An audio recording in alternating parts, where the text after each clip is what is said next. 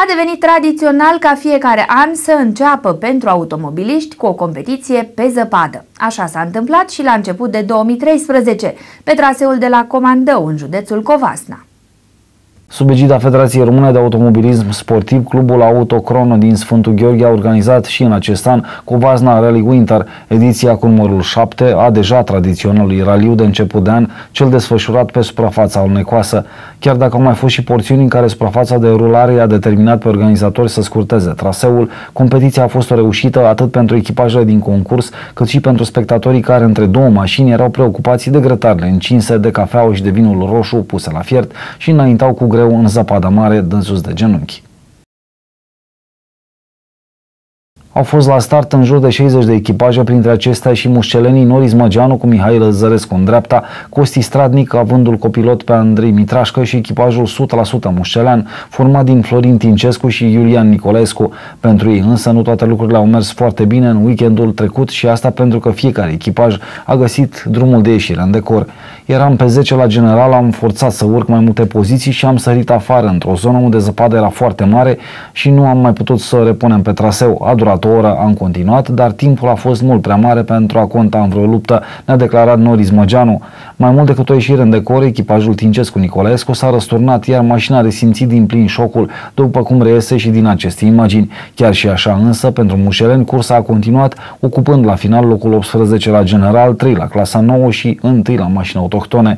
Mult mai ghinionist, Costi Stradnic a abandonat, a ieșit mai întâi în decor, a revenit pe traseu, apoi s-a răsturnat și n-a mai putut continua. Pentru cele trei echipaje, chiar dacă mașinile au avut mai mult sau mai puțin de suferit, membrii acestora au ieșit teferi și au avut puterea să facă haz pe marginea acestor evenimente. Așteaptă acum cu interes ediția următoare a raliului pe zăpadă, însă până atunci fiecare are în față un sezon de străbătut, indiferent că vorbim de campionatul național de raliuri sau viteză în coastă.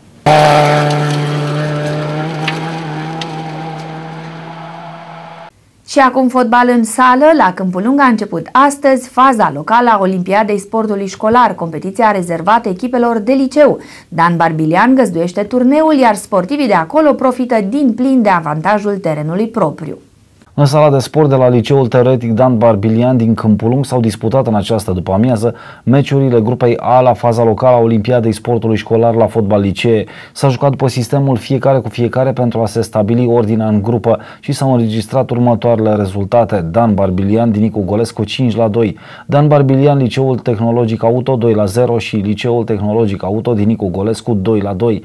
În urma acestor rezultate, Dan Barbilian este pe primul loc maximum de puncte, pe 2 este Liceul tehnologic, iar pe 3 din Nicu Golescu, ambele cu un singur punct, dar departajate de golaveraj. Mâine tot în sala de la Dan Barbilian, în grupa B, se vor întâlni echipele de la Colegiul Pedagogic Carol I, Colegiul Tehnic, dar și cele din Rucări și Stâlpeni. Vom reveni cu rezultatele înregistrate și programul fazei a doua.